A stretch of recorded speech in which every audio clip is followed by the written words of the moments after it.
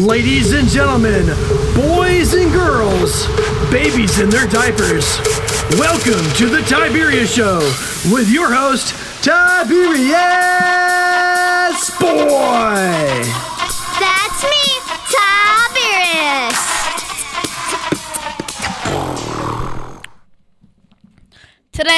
Going to talk about some very awesome stuff. We have a VR game about stealing acorns, the second book about the city of Ember, and we have a totally awesome guest. Today we have the one, the only, the amazing Brian Sipe. Brian is a specialty makeup artist at Gamut Studios and works on making characters in movies look real. Yes. Yes, that's what I do. Real. Wow. Well, today we're going to start off with the video of the week, and this is going to be a squirrel.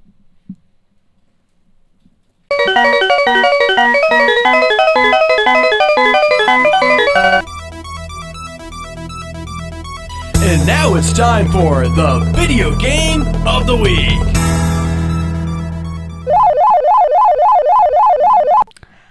Today's video game is Acorn Attack of the Squirrels.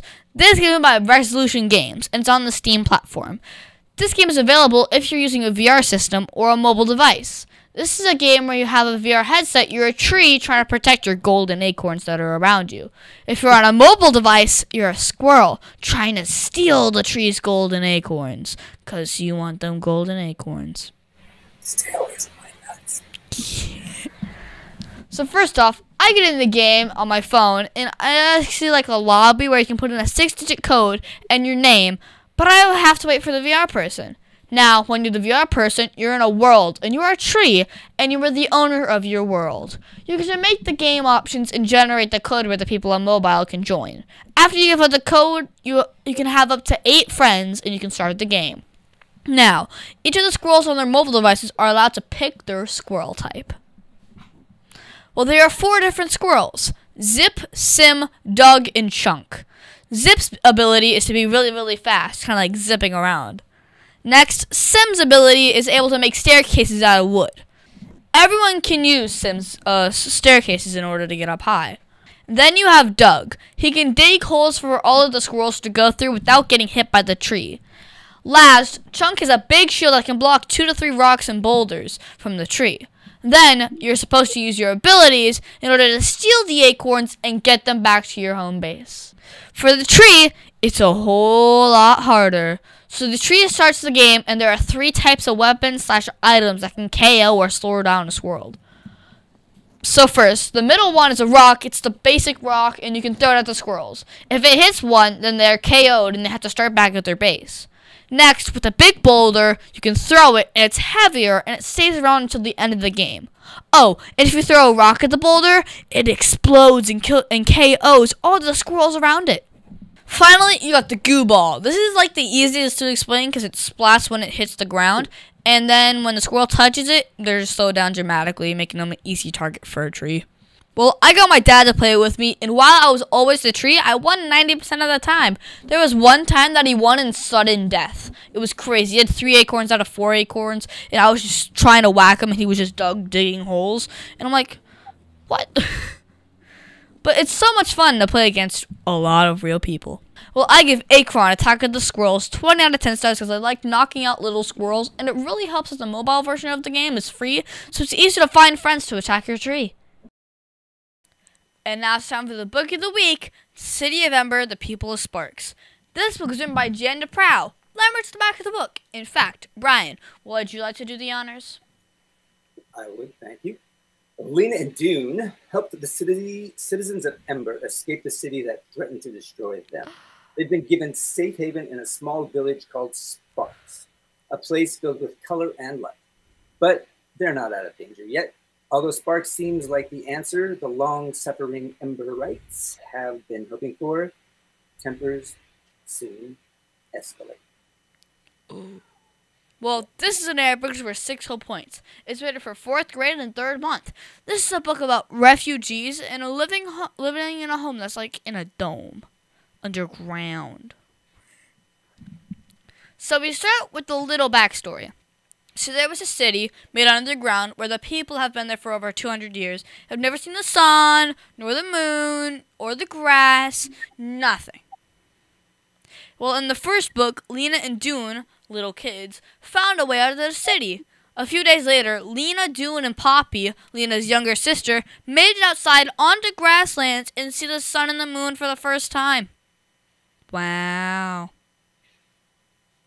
You think they would get immediately suntanned or sunburned? Not sure.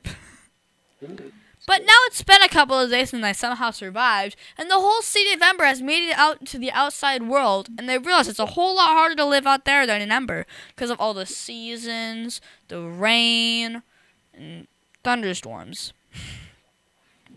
now, they might have gotten out of Ember, well, because Lina and Doon took a note and strapped it to a rock with instructions on how to get out. And they threw it down to Ember, and Lina's permanent babysitter found the note on accident and read it and got everyone out of Ember like that. Boom. Now, they find a city called Sparks, and the mayor of that land was confused with so many people at once. No one believes them about a city underground, and they allow and they decided to allow them to stay in an abandoned hotel. Some people took Emberites in their own home, and all shared their food. They got to taste all sorts of new types of food. And later on, Lina was living with the doctor because Poppy was sick and some of the citizens of Sparks were not happy about sharing their resources with the Emberites. They didn't even want the people from Ember. And then it would got into an all-out wait. I think I said a bit too much, but I want you to read the book yourself and you figure out what's happening right then and there. Well, I give The City of Ember, The People of Sparks, 8 out of 10 stars because it was a great book and I can't wait to read the third book in the series. This thing, that's good. All right, can we talk about this for a second? Because I have questions. Sure. Well, like that. I mean, could you imagine if you were lived your whole life underground and you didn't see the sun? Like, what would your skin even look like? This is what I think of. I'd They were perfect- pale. I would think, you know, like, how can that be? They would be pale to the point of almost translucent.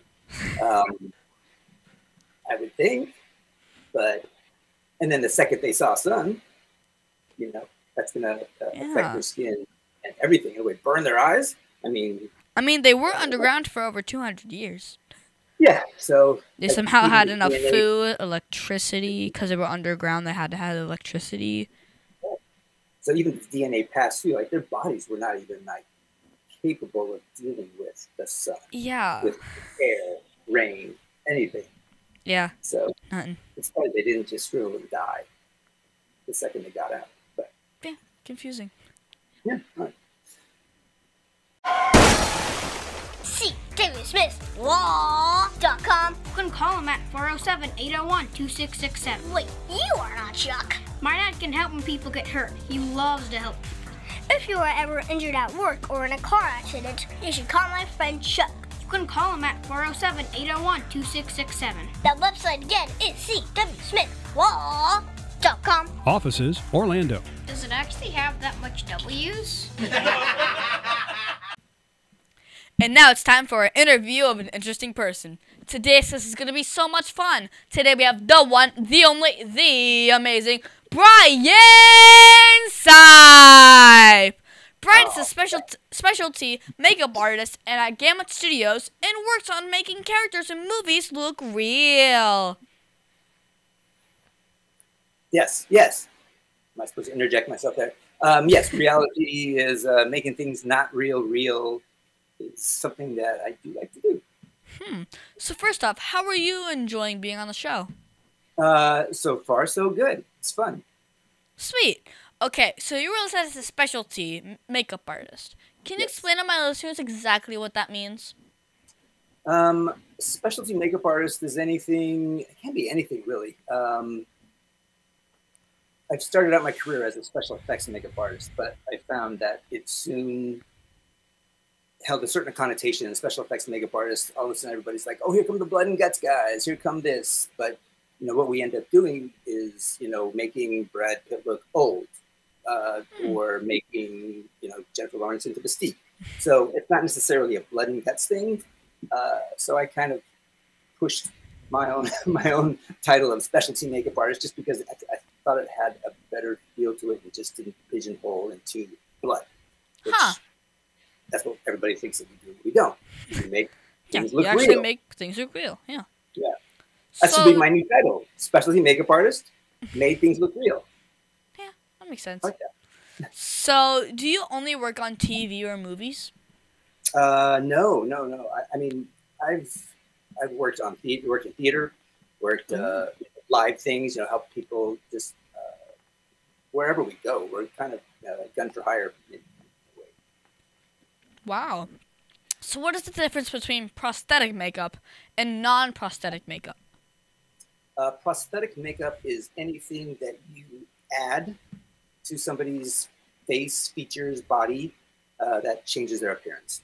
Okay. you know, nose. Um, it's nebulous whether or not a tattoo is considered a prosthetic because you Mm. do add that. It doesn't actually stick out from their person. So, but uh, teeth, ears, nose, a hump, uh, Perfect. age, anything you glue to somebody's face would be considered a prosthetic. Huh. So, if you accidentally glue a piece of tape to a Yeah. person, Yeah. that's called a prosthetic makeup? If it was supposed to be about how they look and look real, like their skin, Yeah. then yes. But then it might, if you don't want it to Huh. look just like a piece of tape, right? Huh. Piece of tape, piece of tape. So, how long have you been doing this amazing work? Um, I have been doing this professionally for about 30 years um, and been playing with it ever since I was about 14 to 15 years old. Nice. Yeah. So, what really drives your passion into this type of work? What, let's see, uh, the satisfaction it works, when you actually have pulled it off. Um, that is, I mean, you know, it- us as artists, we're, we're, we're never sometimes uh, happy about what we end up doing.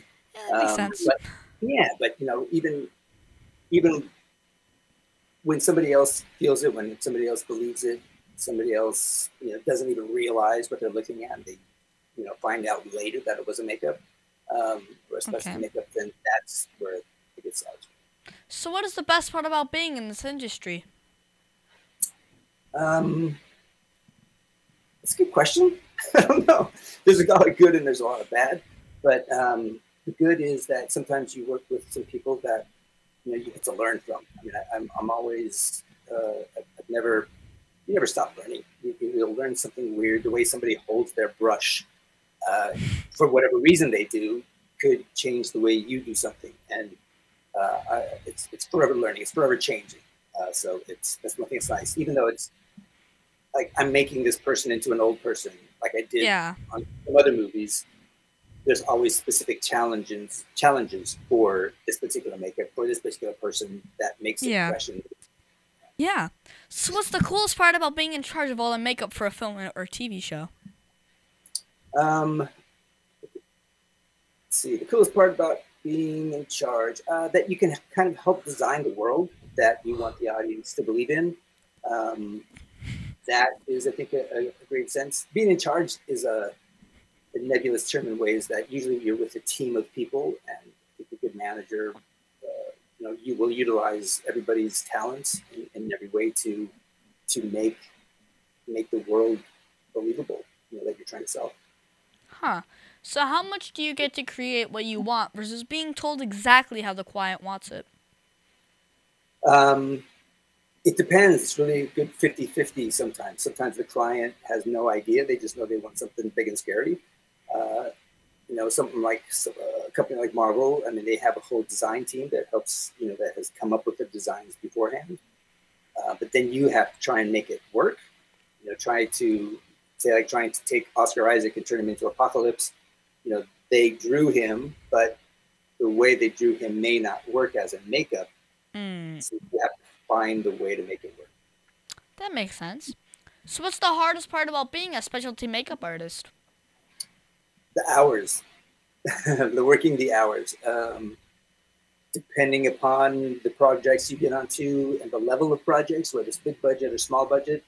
Um, you know, uh, sometimes you have weeks and months to prepare. Uh, but when I work on something like a Dancing with the Stars for Zena Green, her department, um, it I have three days to do something that I might take three weeks to do. So it's figuring out how to make that happen in that short amount of time and to make that happen, which is Hmm. usually usually means working 24 hours a day. Hmm, okay. So now my dad said that you worked on some amazing projects like Guardians of the Galaxy and The Mandalorian.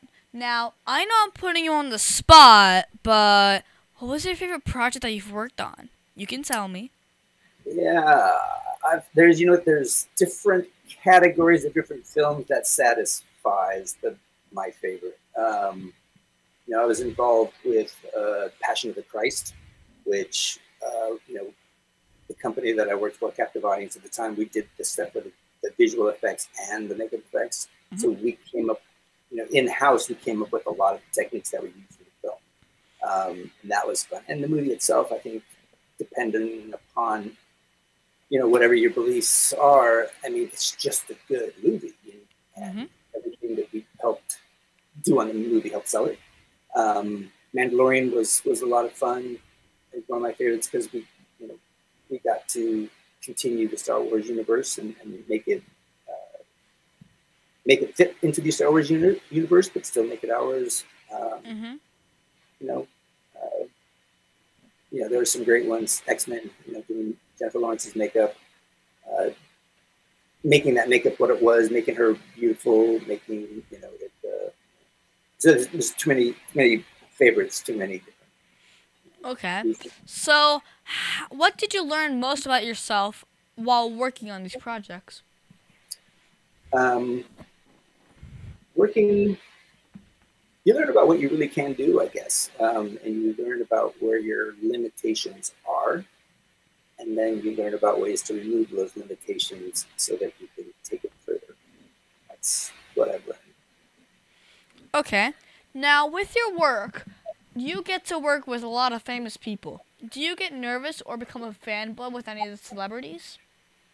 um, good question uh, no um, i don't uh, there are, there have been a couple of times when i have kind of fanboyed out but usually when it comes to most of the people you know it's my work it's my job that's true. uh, it's meat in the seat um, is how i kind of think about it sometimes because it's just regardless of who they are they're there for the same reason i am you know, to, to put That's this true. character onto screen um, one of the times that i had a big kind of fanboy moment was uh, i didn't work on him but i was helping a friend do a makeup for a show that he was running and i kind of felt a bump in the chair behind me and i kind of turned around and there was leonard nimoy being made up as spock. And you know that was truly a moment where yeah i'm sure if you tried to talk me that moment i couldn't have had words because i mean that's you know you see his picture in every book that talks about makeup. You see i grew up watching that tv show and Huh. yeah it's Wow. yeah yeah that was a good one So, who is that one celebrity that you would really like to work on? Um, I don't know. I've, I've had a fantastically fortunate career um, where I've had, got to lot to do a lot of things on a lot of different people. So I, I've, I've been lucky. I think I've, I've hit a lot of those marks. I'm, I'm, don't know of Okay. I would, I'll- how about you? We should turn you into a, uh, a fantastic prosthetic maker. So, who can you say was the person that helped you drive your passion the most? Hmm. Uh, one of my early mentors was a man named Steve Johnson, um, and I worked with him early on. And he was the kind of person that we would work on stuff, we would build stuff, we would work 24 hours and you know, 72 hours straight building something. And he would come in Whoa. and be, "Wow, this is amazing, this is great. Do it again." Um, and for whatever reason, he would have a list of reasons. So we would have to do it again. And um, he, he was the one I think who helped not only kind of set a bar for passion, but set a bar for um, ethic, like a work ethic in this in this community that uh, think has helped me a lot. Mm-hmm. Now, my dad said that you have won a lot of awards, including an Emmy. Can you tell me more about that? Um, yes, that uh, that was a, the first. Let's see, the first award I won was an Emmy award for a television show called Black White, Mm. where we took we took a family of three African American folks and made them look white, and a family of three uh, Caucasian folks and made them look black. And it was kind of a show like walk a mile in my shoes, see how what it's like to to be this color in this world. Um, Huh. but it was a but it was a show that the producers knew that if the makeup did not work, the show did not work.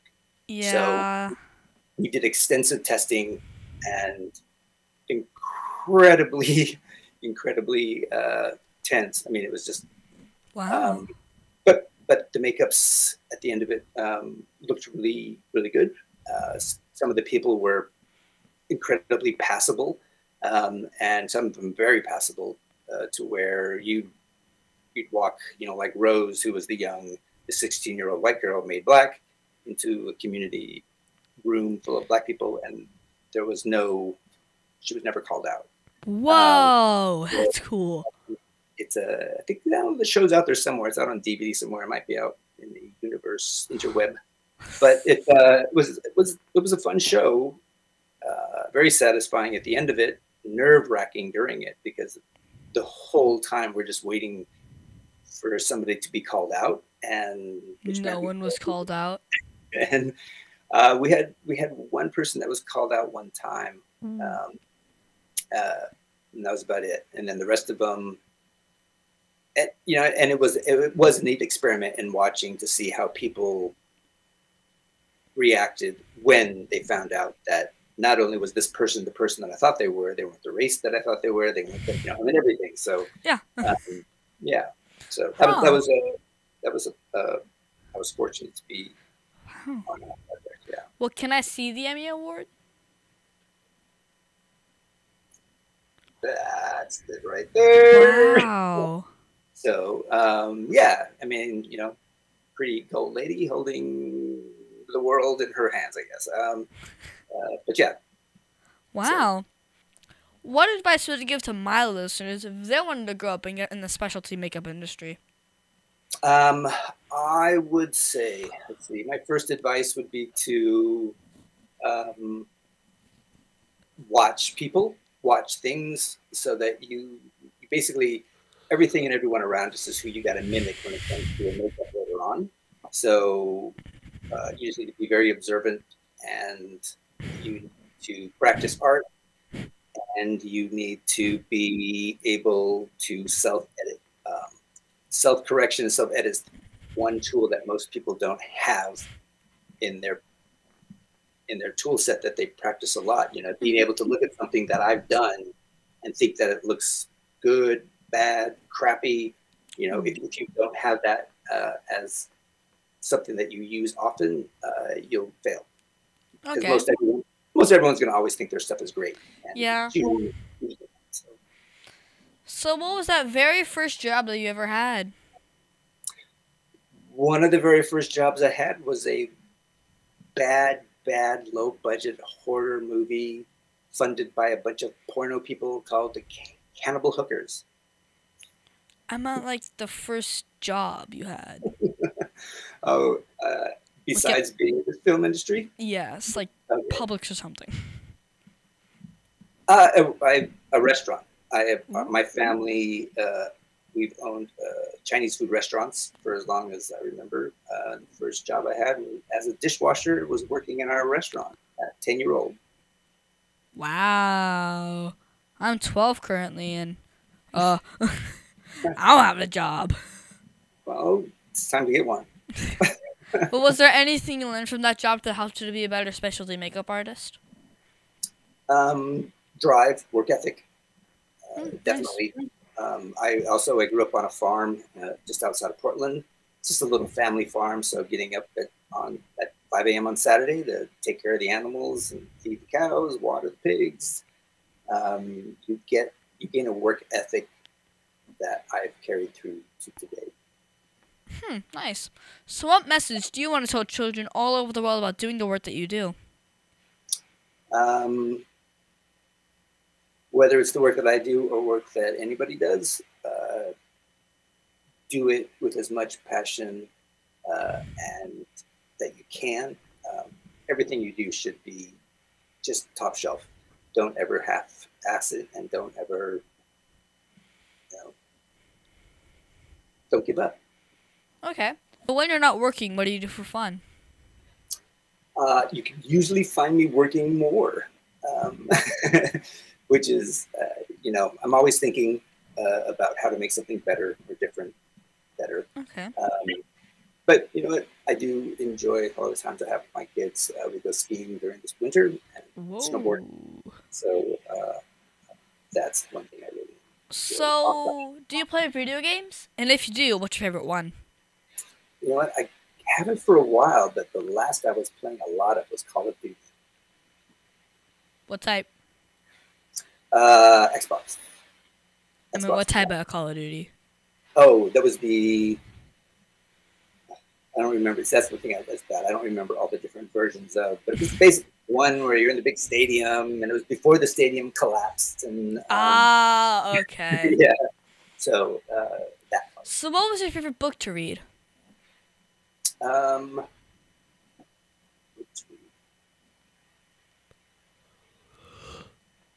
funny thing about me is I don't read a lot of books. Um, but you know, one of the few that are David Mamet wrote a great book on directing, which kind of makes you think about how people tell stories. Um, it's a good question. I have not read a lot of books lately. I Huh. should. But, okay. Now, can you tell me that one story? You know, remember, this is a kid show, but that Right. one story, well, that you're not supposed to tell me about. Come on. You can tell me. No, that one story I can't. Another one? uh, well, I guess preface this by why shouldn't I tell anybody? Uh, That's one be- thing. Yeah, I mean, working on Guardians of the Galaxy 2, we were asked to reproduce a character from the first movie, which we did. Was it hilarious doing the makeup again? Um, those mo- those makeups in general were good. This particular makeup was one that the director remembered differently, and he said, "Well, that was gonna that's gonna be different, right?" And I was like, "No, that's the way it was." And the director was like, "No, it wasn't. It was this way." And I was like, "No, it wasn't. It was this." and I almost got fired. I was very close to being fired that day. Uh, Whoa. but you know, um, yeah. So maybe I wouldn't have stuck to my guns so much and just said something that uh, you know gloss things over a little easier. But um, Huh. Well, is there anything else you think my listeners should know about you? Um, nah, nah. I figure, uh, you know, I mean, we're all here. Um, we're all here to make films and projects that. Uh, yeah, we're trying to entertain people and make, make people believe of something. Um, and you know, I mean, I guess a lot of people who know me know that that's just my true nature. Of I'm I'm in it, and I give 165 percent. Hmm. Um, and I guess that's just who I am. There's kind of no, there's no shame in that, and there's no, there is no, there's no looking back. Mm-hmm. Well, do you have a Facebook or a website for my listeners who want to follow you? Yes, I have. Actually, the best place to see me might be on Instagram, which is Brian Sipe Makeup.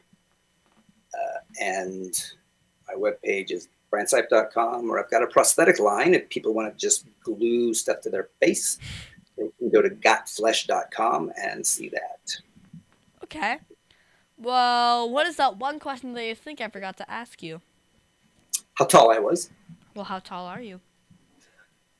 It's funny because I would say 5'10, but my driver's license says 5'10 or 11. But I think I measured last, I was 5'9. So I'm in that shrinking part of my phase of life. Sucks. I'm five two. There you go. I can put my chin on your head.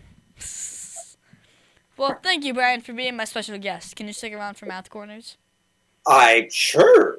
Math's horrible. I'm horrible at math, though, but I, I'll do my best. My kids are great at math.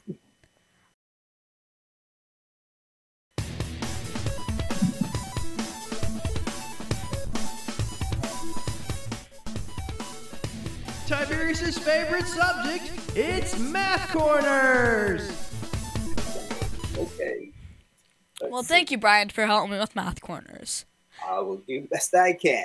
Sweet. Well, this week we're gonna do some more multi-step word problems. My dad is always good at finding new problems for me to solve. And today we're gonna talk about makeup Math?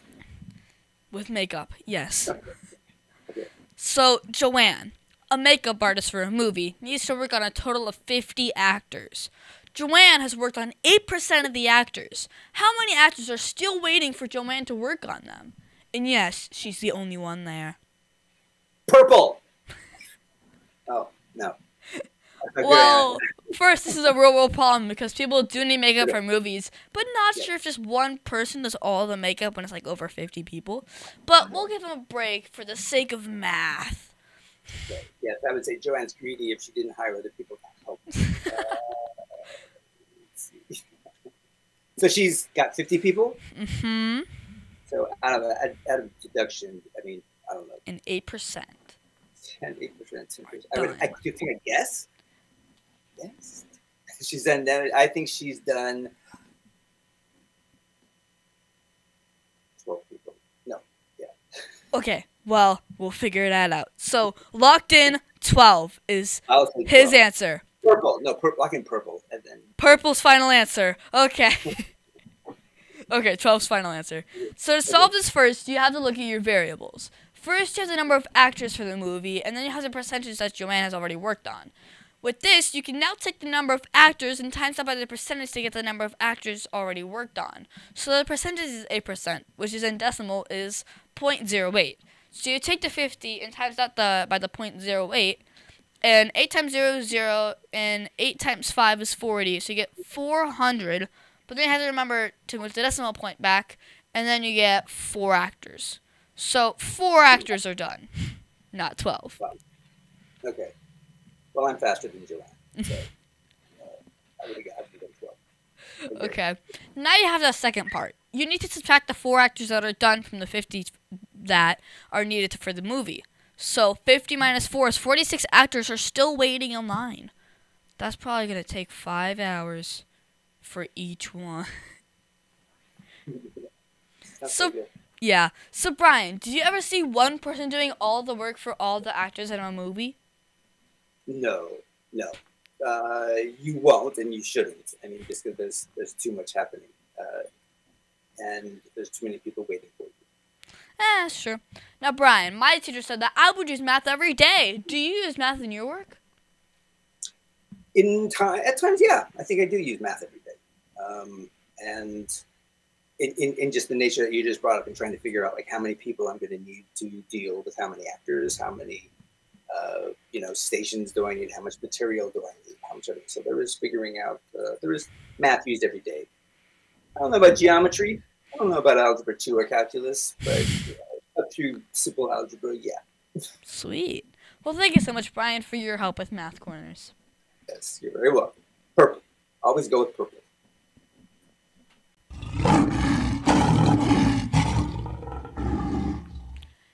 And now it's time for the Heart of a Lion. As you know, we talk about the qualities of living by the Heart of a Lion, which stands for leadership, integrity, obedience, and ability. This week, we're going to talk about obedience. For me, I think obedience is being fully committed to doing what is pleasing to God. The qualities of obedience are compliance with a good attitude and respect for the laws.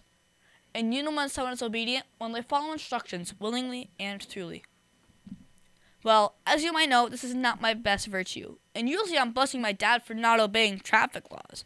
But this week, I can say that I saw him obeying a very important one. If you remember, a while ago, I interviewed a lady about the crosswalks. Well, they have some new lights on the Orange Blossom Trail, and they turn yellow to slow down and red to stop and blink red to go again. But my dad stopped right when it turned yellow. I asked him why, and he said that the lights really don't matter. In fact, the law really, as soon as a pedestrian has one foot on the crosswalk, you're supposed to stop. Since the person pushed the button while stepping into the crosswalk, the light was slower than the person. Other cars kept going, but my dad stopped like he was supposed to. Now that's following instructions willingly and thoroughly. So I can't bust him today. Hmm. Hmm. Boy, boy. So Brian, does make me- yes. did you see or use obedience at all this week? Did I see or use obedience this week? Although I gotta say, I'm gonna speak to uh, your dad's moment of obedience, um, which is which is good because I think most of the time in that particular instance, when somebody steps uh, onto the street uh, and they feel that they have the right of way and you know expect all the other cars to stop, Some of them don't. a 160 pound person versus a 2,000 pound car. Um, Who there are wins? times who will win. So I would never take for granted that this person is going to one be obedient to the law or being paying attention to their driving or the law at the time. Um, but that is something that I, I find disheartening because everybody does just step off the curb and think that somebody's going to stop, and then Mhm. wonder why they got smashed. Um, E. so yeah, I, you know, I, I think there's there's there's time for obedience. There's time for non-obedience, but paying attention is maybe a little bit better. And I think your dad was paying more attention that day. Mm-hmm. With all of the heart of a lion virtues, which is the one that you see the most? Because I don't know how many people are that noble anymore. Uh, I, that that's a good one to try and figure out. Obedient. That's that might be obedient because I think that's what's left. You know, as far as the people, peop, very few people have. I don't think they even know what the word integrity means, let alone follow it. Um, leadership. Maybe I see that because everybody does want to be in charge, but they don't have the integrity to be in charge, uh, nor the obedience to learn how to be in charge, or you know the, the strength Be and noble. ability of to, to be able to be in charge with um, candor uh, and humbleness. So, Okay. Know, Well, we should always try and be lion strong in everything we do, shouldn't we? Yeah, yeah, I can see that. It's, it's very useful an acronym, so that uh, it's a good thing to follow for sure. Sweet. And that's our show, folks. I want to thank the one, the only, the amazing Brian Sipe for being on my show. It has been so much to talk about today. I think we learned a lot about the makeup industry and how amazing this job really is. Yes, thank you. Thanks for having me on. I appreciate it. Also, you can find me on Facebook and Instagram at The Tiberius Show. And please be sure to visit The Tiberius Show on YouTube and subscribe. Also, be sure to listen to us next week on The Tiberius Show with your host, Tiberius Boy.